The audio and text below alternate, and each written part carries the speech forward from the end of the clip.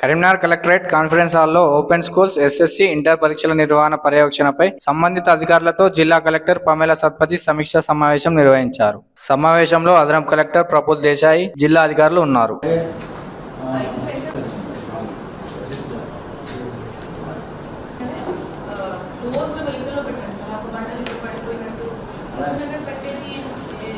pass percentage తగ్గిందా బయటకు పోతుంది మీ క్వైట్ అలాంటివి కూడా జరగకూడదు